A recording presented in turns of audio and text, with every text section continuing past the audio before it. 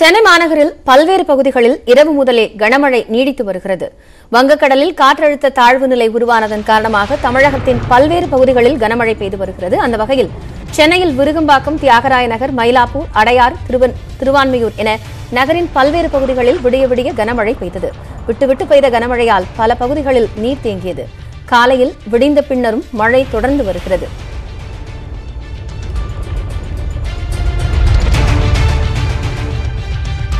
கனமழையின் காரணமாக கோடம்பாக்கம் வடபழனி அசோக் நகர் பகுதிகளில் தாழ்வான இடங்களில் மழைநீர் தேங்கி நின்றது. கோடம்பாக்கத்தில் சாலையில் மரம் முறிந்து விழுந்ததால் போக்குவரத்து பாதிக்கப்பட்டது. இதையடுத்து அங்கு வந்த மாநகராட்சி ஊழியர்கள் மரத்தை அப்புறப்படுத்தும் பணியில் ஈடுபட்டனர்.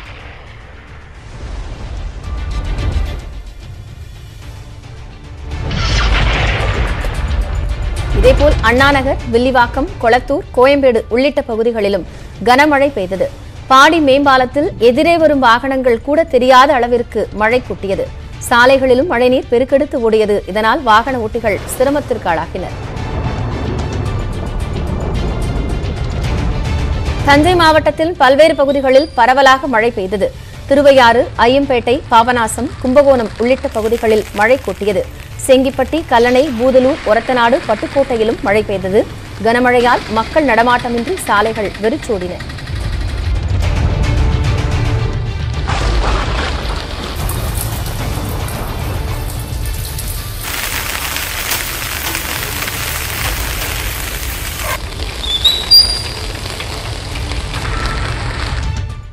சென்னை ரிப்பன்